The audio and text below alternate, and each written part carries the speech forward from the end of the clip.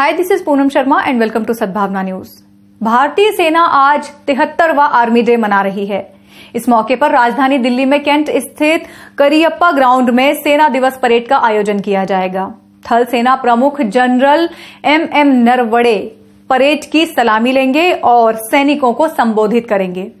15 जनवरी उन्नीस के दिन ही जनरल के एम करियप्पा को भारतीय थल सेना का कमांडर इन चीफ बनाया गया था।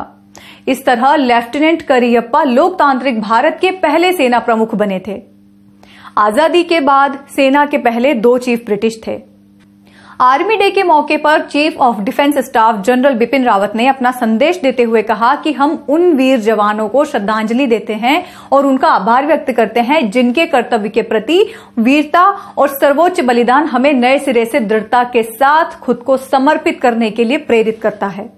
आइए जानते हैं आर्मी डे से जुड़ी कुछ खास बातें। 15 जनवरी को आर्मी डे पर दिल्ली के परेड ग्राउंड पर आर्मी डे परेड का आयोजन होता है। आर्मी डे के तमाम कार्यक्रमों में से ये सबसे बड़ा आयोजन होता है। General officer commanding headquarter Delhi की अगुवाई में परेड निकाली जाती है। आर्मी चीफ सलामी लेते हुए परेड का निरीक्षण करते हैं। ये परेड भी गणतंत्र दिवस परेड का हिस्सा होती है। दिल्ली का परेड ग्राउंड राष्ट्रीय राजधानी के बड़े ग्राउंड्स में से एक है। सम्मान स्वरूप इस ग्राउंड का नाम करियप्पा कर दिया गया। हर वर्ष यहाँ आर्मी डे सेलिब्रेशन के अलावा कई बड़े बड़े कार्यक्रम होते हैं। आर्मी डे पर आर्मी चीफ बेहतरीन सेवाओं के लिए जवानों को सम्मानित करते हैं और उनकी हौसला अफजाई करते हैं। सेना दिवस के मौके पर आर्मी ने सोशल मीडिया पर शेयर किया वीडियो। थल सेना दिवस के मौके पर इंडियन आर्मी ने अपने ट्विटर, फेसबुक और यूट्यूब अकाउंट पर एक शानदार वीडियो शेयर किया है, जिसमें उसके शौर्य बहादुरी की झलक साफ़ देखी जा सकती है। वीडियो में आप देख सकते हैं हर हालातों में कैसे आर्मी मुस्तैदी के साथ देश की सीमाओं की रक्षा करती है।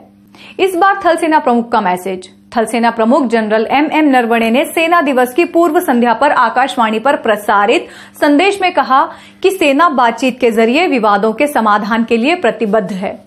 भारतीय सेना सीमाओं पर यथास्थिति में एक पक्षीय बदलाव के किसी भी प्रयास के खिलाफ दृढ़ता से खड़ी रहेगी और अमन चैन की उसकी इच्छा को कमज़ोरी के तौर पर नहीं देखा जाना चाहिए। उन्होंने ये भी कहा कि सेना शत्रुओं की साजिश का त्वरित और निर्णायक जवाब देने में सक्षम रही है और उसी समय उसने पूर्वी लद्दाख में सैन्य गतिरोध को और बढ़ने से भी रोका है। पाकिस्तान के सीमा पार आतंकवाद का ज़िक्र करते हुए सेना प्रमुख ने कहा कि सेना भारत के हितों की रक्षा के लिए आतंकवाद के स्रोत पर ही हमला करने में संकोच नहीं करेगी। जनरल नरवणे ने कहा कि उन्हें विश्वास है कि धर्मनिरपेक्ष ताने बाने मज़बूत अनुशासन और दक्ष पेशेवर कार्यशैली पर आधारित सेना का सैन्य चरित्र उभरते भारत की आकांक्षाओं को पूरा करने में बल को शक्ति प्रदान करता रहेगा। Powered by Arthros Clinic, a dedicated center for arthroscopy and sports injuries.